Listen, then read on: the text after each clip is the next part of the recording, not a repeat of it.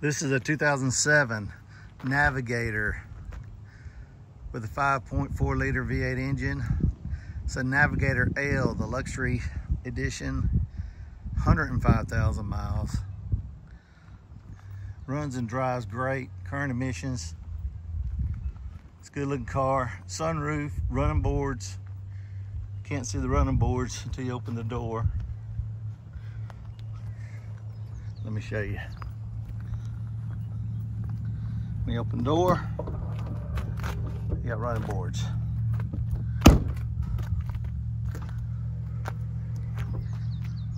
They go back in when you close the door.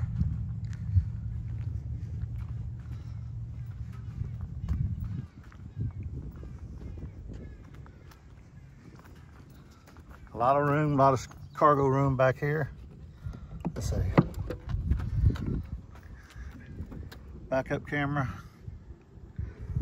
Lot of cargo room. You can also fold down the seats. We can leave them up, power seats. Let's close the hatch.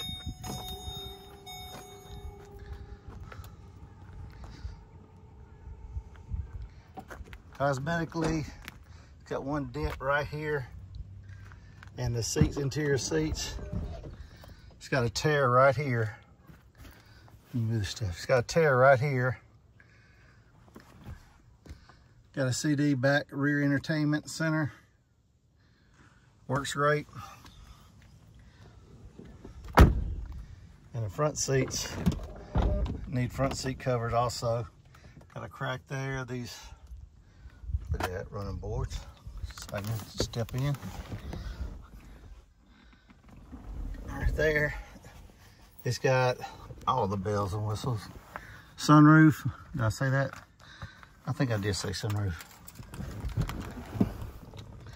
It started up, cold air. 90 degrees again outside today in July the 6th. Don't miss the boat. Set the cruise control.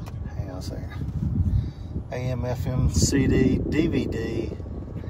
My favorite, satellite radio. Cold air. I got on 73 because this gets cold in here.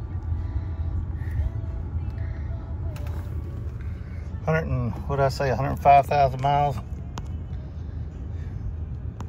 Well, 105, 189. The screen flashes like that because of the camera. It don't flash in real time. Somebody asked me one time, was something wrong with the, the screen? It's the camera frames do that. Let me know if you're interested in this Navigator. Three roads, a lot of storage room, everything you need on a SUV and the comfort. Just those seats need seat covers. Didn't put any seat covers on it because I want you to see it just like it is.